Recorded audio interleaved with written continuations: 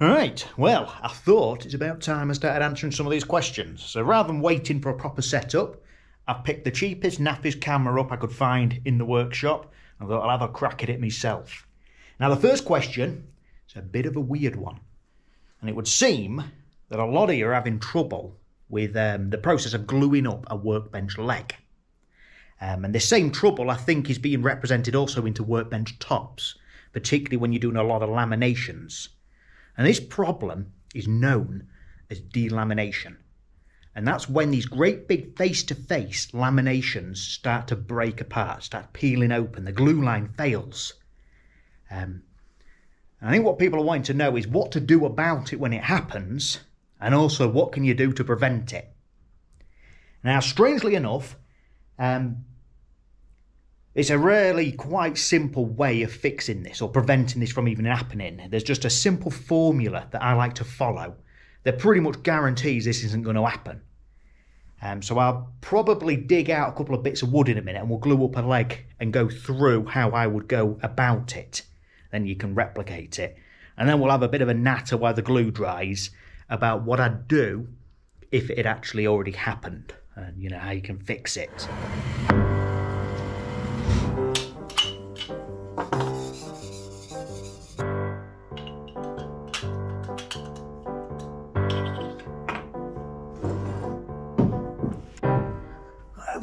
Gonna bloody work. I'm gonna have to strap you to something. Alright, so what I've dug out here are two bits of pine. Um, it's redwood to be particular. Now redwood makes excellent workbenches and it glues really well. It's really quite heavy um, and stiff. It's good stuff. Now this method that we're going to use is um, what's known as face-to-face -face laminating.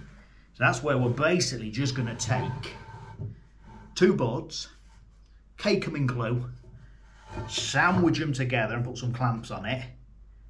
Um, and then when we take the clamps off, we've got a thicker bit of wood. And it's pretty simple. Um, now, the problem is a lot of people confuse this because this isn't a very um, common joint in furniture making. It's not often you're doing this. You know, if you build a workbench every now and then, then that's about the only time you're doing it. So it doesn't get much practice. But in theory, it gets confused with what's known as edge joints. And that's where you buddy slap some glue on the edges, stick it together, and jobs a good. And now edge joints are bulletproof.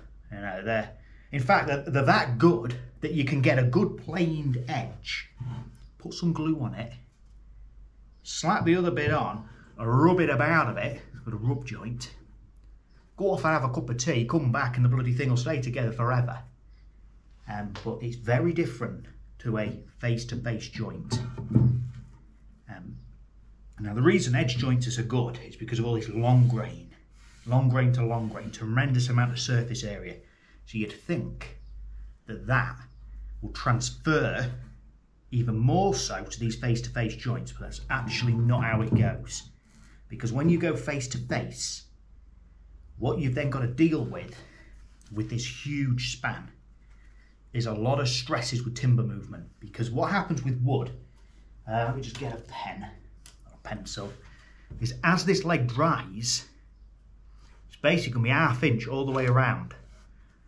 And within that, it's going to be doing this drying out, taking moisture on, drying out, etc. And it never really stays in that same humidity for long enough for it to really penetrate to the middle. And uh, in fact, I've had I've had sleepers and oak tops that I've made where they've been solid slabs, one big slab of wood. And I've had these things kicking around for 15 years or so, and they was bloody 15 years old prior to that. You cut them, and it's still wet through inside, you know. So sometimes these big thick lumps, they never truly dry, um, not until it starts to crack at least. So what happens is, with all of this expansion and contraction, is it causes essentially the failure to happen on the outside. And then once you've got that hairline started, you know, and it starts to run, every time it does it, it just weakens it and weakens it. You know, it's a bit like um, how you see boulders breaking off cliffs and stuff. You know, they get a little crack in it and the water gets in it bloody freezes and expands a bit and breaks it a bit more. And then year on year that keeps happening until the whole bloody side falls off. So it's, it's a very similar premise. So what we've got to do is get our head around the fact that these two bits want to move. And we can actually deal with it in a very simple way. And that is all about positioning these growth rings in the right orientation. Because as it dries, those curves want to straighten out. So we need to position them not like that. Let me try and figure it quick. So if we position them like this, where they are against each other, as those two rings start to dry out and straighten, they will tighten and remain tight in these joints. And something as trivial and as simple as that is the difference between often a failed joint and one that lasts forever. As a general rule, as wood dries, the growth rings in the end grain straighten. As a result, you get cup in the opposite direction to the growth rings. Imagine they're a bit like elastic bands. By putting the rings together, almost as they would be in a tree, you're much more likely to have a failed glue line. By opposing them though, you're stacking things in your favour, as the movement isn't going to pull at the glue line. Now every now and then I come across a real pretty face or I have something ugly to hide. In that case I will sometimes stack the rings in the same direction. This doesn't work for you, but at least it doesn't work against you. This is of course all very generalised. Extreme environments may require different approaches.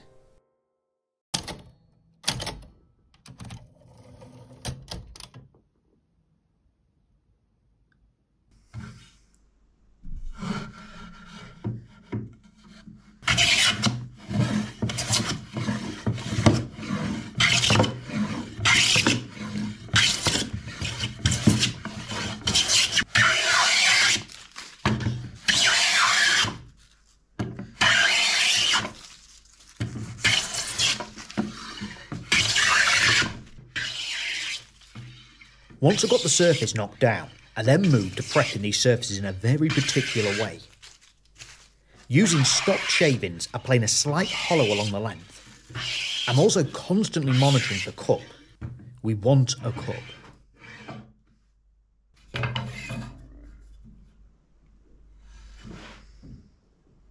I use a couple of sticks to check for twist and sort any out by knocking the eye corners down. That cup and hollow really help here.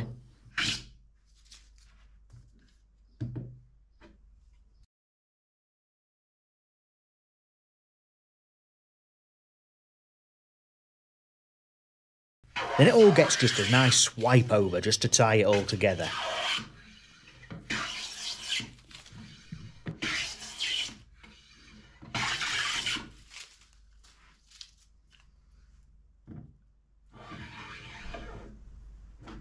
Well, that only took a few minutes. It really is just a skim up. So what I did is I just knocked it all down and put a nice spring in it and then ensured it had a cup going across, just a slight cup.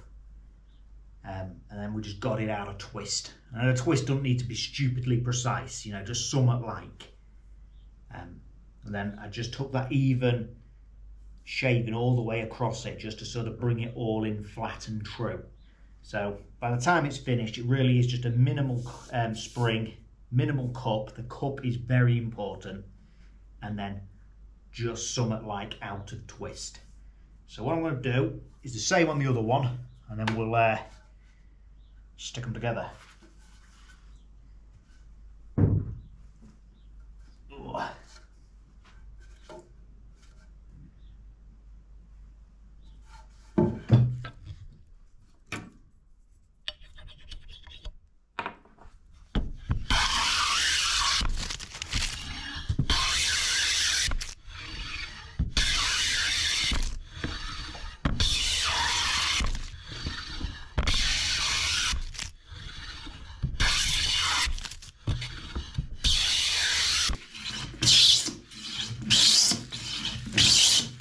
With the second bit done, we're ready for a check. By sandwiching them together, you can see what you're up against.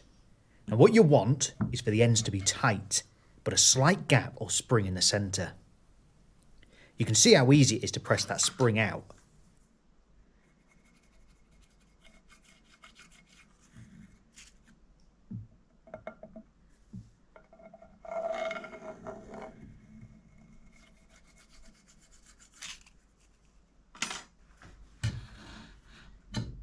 On the end grain view, you can also see the small gap in the middle, left from the cut we planed in. This guarantees that the edges are pressed tight together in the clamps. Right then, so the last thing I like to do, um, this is more of a precaution, but I do think it pays, and that is just to scuff it up a bit, the frame, the plain surface with some sandpaper. Um, well, all that's to do really is, um, well, there's two things. First off, when you're hand plane, it has a, a heavy burnishing effect. That burnishing can sometimes make it quite hard for glue to penetrate.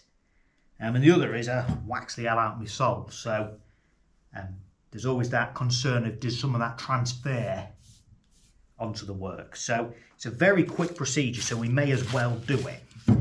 Now, just like everything, there's always a, a way. So it's got a bit of coarse sandpaper. Just fold it up. So by hand, way too big. I'm just going to sand within sort of half inch from the edges. I don't want to go over the edges because if I start to round them over, it, it can look a bit of a sod. Basically, we'll have um, gaps before we even start. So all I'm going to do is just scuff it up lightly.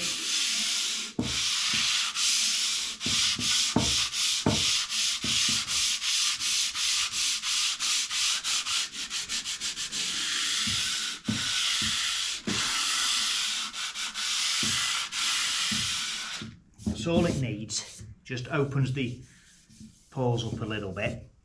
And then to get those remaining bits, just get a bit of stick, something with a flattish face, and just wrap it.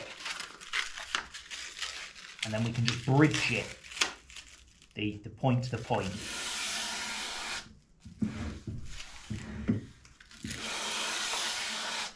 Send a few over and that'll do it. And that's it. It's basically just opened up the grain.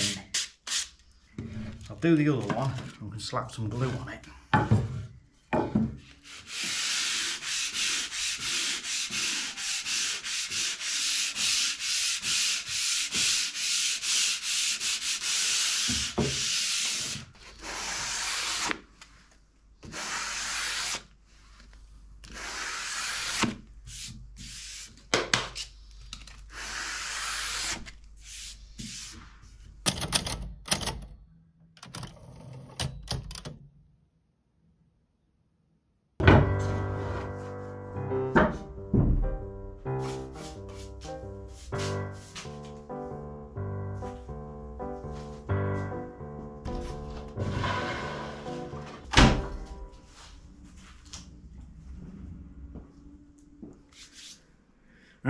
We're on to the glue up. Now this is a fairly simple job.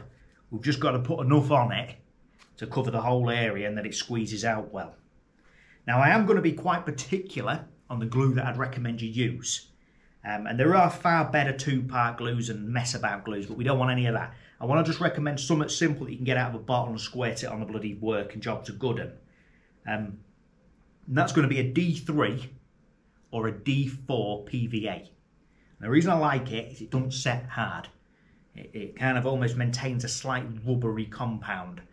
Um, and as a result, it doesn't crack under the amount of movement that this stuff might want to do. And um, once you get that crack, that's when you start to get the failure. So it's relatively crack resistant. That's why I like it. So um, it's up to you, obviously, what glue you use. They all say they do it, but that, without question, has been the best one-part glue I've used. So what we'll do just squirt a load on.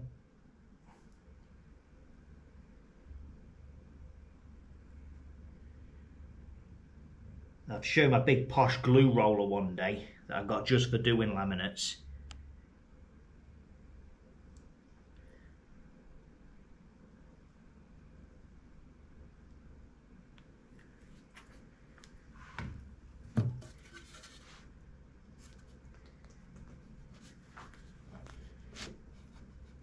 Rub it about, and if it ain't all coming out, you just put more on. You can see how it's bit already. You know, you can't actually get it a bit. A bit more.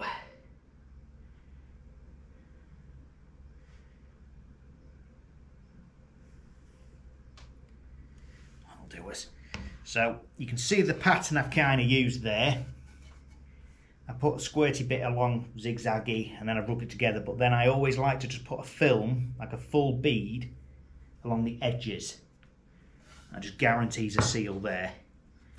Because you can uh, brush it if you like. I don't like them rollers. Those rollers tend to spread it a bit thin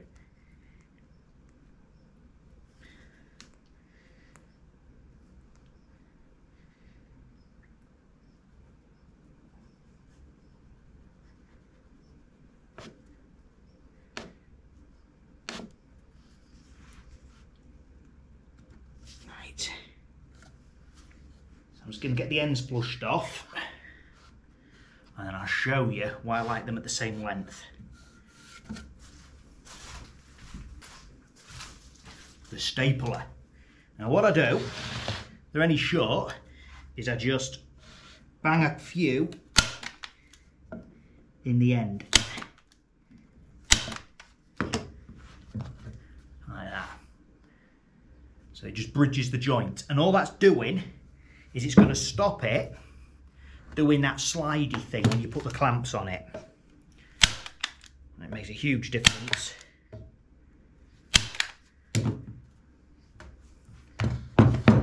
Now you can throw it about and all sorts. And if I was machining these out, so let's just say I planed these on a planer, I would always do the hand planing as well in, in the joint, just getting that little scoop in the right direction. But when your pieces are parallel, you're able to now stack them. And then that makes clamping much easier. You know you don't have to do one at a time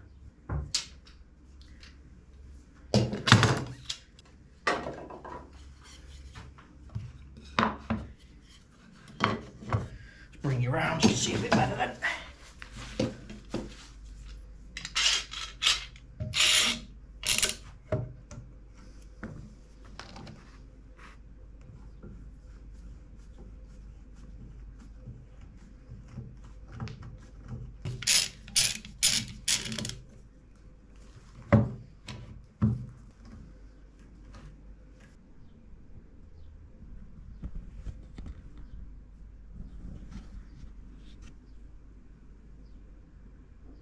So while that's drying, I thought I'd go through what I'd do if your joint basically already shagged. So let's just say your workbench top, it started to open up a little bit. What would I do about that? Well, 99% of the time, it's not going to really progress into something that's going to cause damage to the top. It's not going to work. It's not going to just fall to bits. You know, there's a lot of area there that will stay stuck. It's just visually ugly. So in that case, all I'd actually do is I'd basically, if I turn you around, if, if this was my glue line here, let's just say that that had started to open up, I'd just bung that up with a bit of tape or something to stop the, the epoxy running out, and then I'd just pour thin epoxy into there and just let it build up.